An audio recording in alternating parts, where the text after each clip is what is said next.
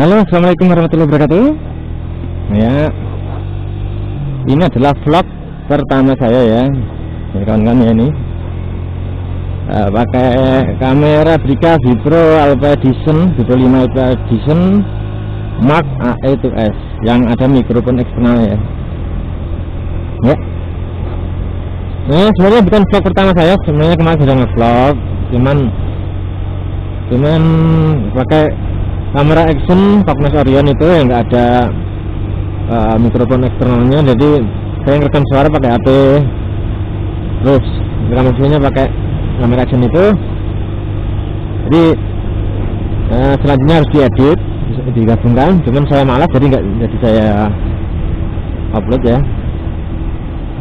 Sudah saya jual yang Orion laku 310.000 belinya 250.000 Alhamdulillah untung dikit karena sebenarnya uh, kamera action itu kan barunya 340 ribu.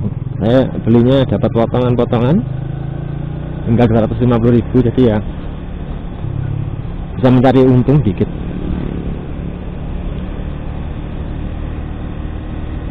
Alhamdulillah aja disyukurin. Terus saya beli lagi nih Brika Pro 5 LP Edition ini. Harganya satu juta dua ribu sebenarnya harganya satu juta 99.000 cuman dapat potongan-potongan.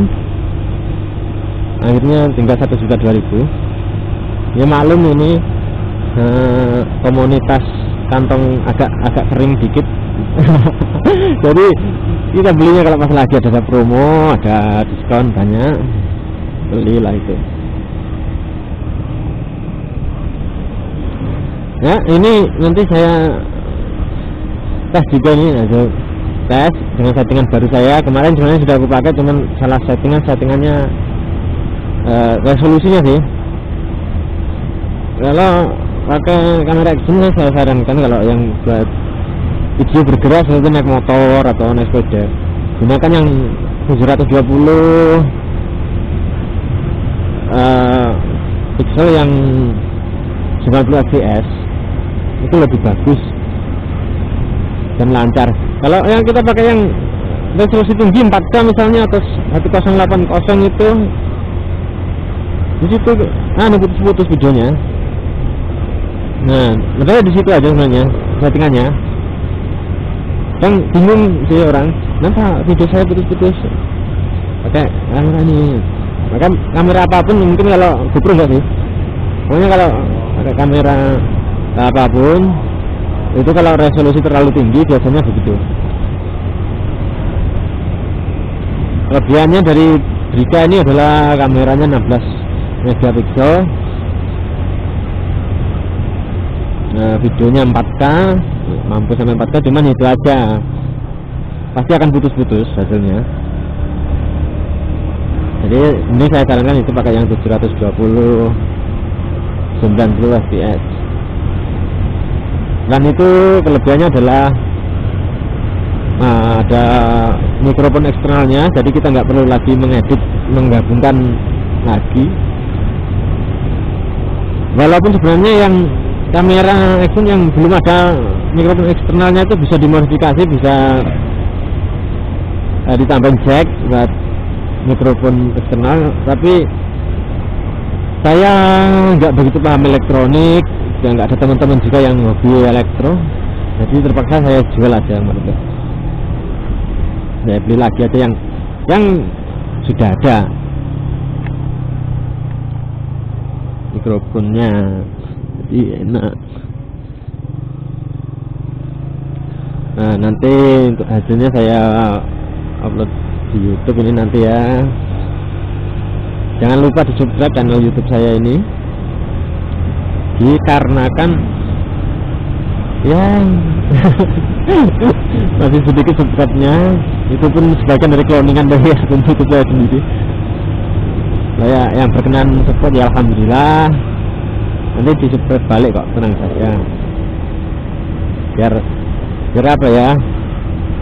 Bisa bisa membantu perekonomian negeri ini. Kalau banyak yang dengan YouTube saling saling support saling ya kemungkinan. Ya alhamdulillah mungkin mengurangi ekonomi anu bukan ekonomi. Sebenarnya saya kemarin sudah punya akun YouTube sudah bisa muncul iklan cuman di banet gara-gara pakai tahap anu bantuan penambah subscribe. Buat itu apa ya you like hit ya. Di situ saya kan dari poin-poin gitu. Dengan cara kita mensubscribe juga menonton video orang juga. Nah dari hasil poin itu bisa kita tukarkan juga dengan subscribe dan view.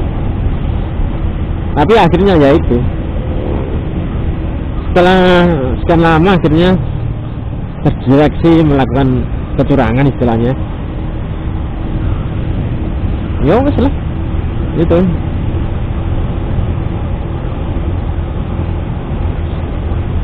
ya di planet Bentar lagi kita masuk perbatasan Kabupaten Ponorogo ya. Ini perjalanan tiga kabupaten. Start tadi dari Madiun. Nanti masuk Ponorogo langsung masukkan. Aduh bannya sudah agak gundul. Sedikit takut kalau di tikungan ya ini anu cukup sampai di sini review dari jika Vivo 5 LPS nya ya. Uh, tes tes hasil uh -uh. nanti dilanjut lagi dengan pembahasan lain. Uh, ini saya cukupkan sampai di sini dulu nanti ngerekam lagi untuk pembahasan lainnya. Uh, oke okay, wassalamualaikum warahmatullahi wabarakatuh